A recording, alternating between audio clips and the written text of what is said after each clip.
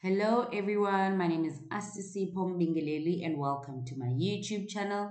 In today's video, we are going to be answering a grade 11 plant diversity question from a previous question paper.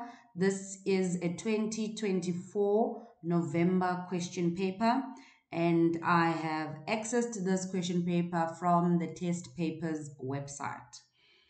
Okay, let's not waste time guys. 1.4 the phylogenetic diagram below shows possible evolutionary relationships in living organisms with four divisions.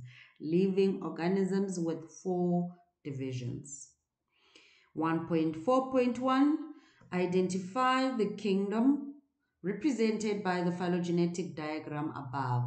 Remember, we've got five kingdoms, guys. Kingdom Animalia, Kingdom Plantae, Kingdom Monera, kingdom fungi, and kingdom protista. Now, from those five kingdoms, which one is represented by the phylogenetic diagram above? It's obviously kingdom plantae. Kingdom plantae. Um, that's the kingdom. That's the kingdom of all our plants, guys. And this is easy to determine because of the four divisions of the living organisms and also because of the presence of seeds and the vascular tissue in the, in the phylogenetic diagram. Let's move to the second question. 1.4.2. Write down the letter and the name of the division that has a dominant gametophyte generation. Now you need to write the letter and the name. You are given the letters, so you need to match the letter to the division. Um, yeah, to the division. We know that in plants there's four divisions.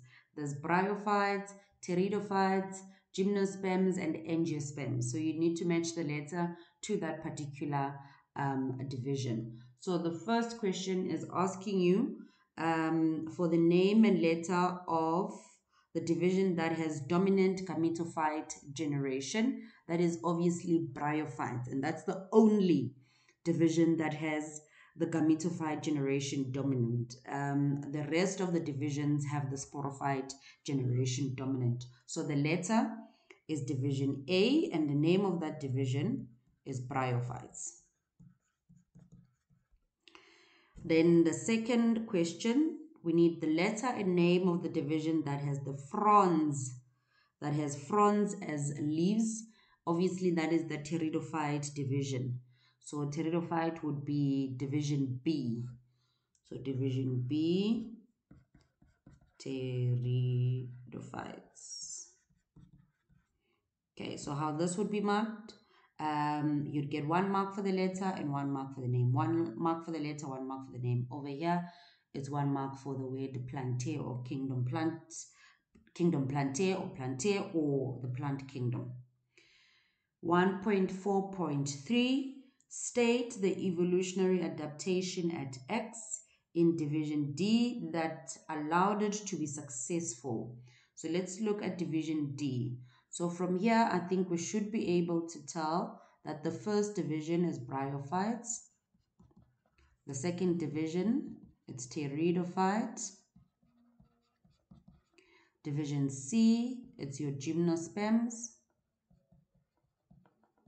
And division D is angiosperms. Okay.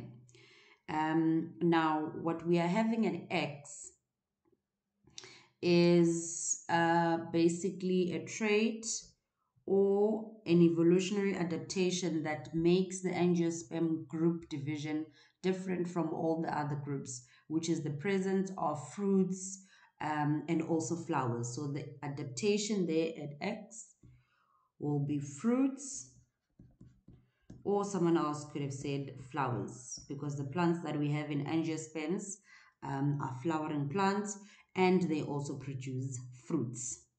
Okay, so one mark. Then 144. Name the vascular tissue that transports manufactured food. The vascular tissue that transports manufactured food. Remember, we've got two vascular tissues. You have your xylem and your phloem. The xylem transports water and minerals, and the phloem transports manufactured food. So the answer here is phloem. One mark. Last question. 1.4.5 Which kingdom has sessile organisms that differ to the one above in their mode of nutrition? That is kingdom fungi. Kingdom fungi.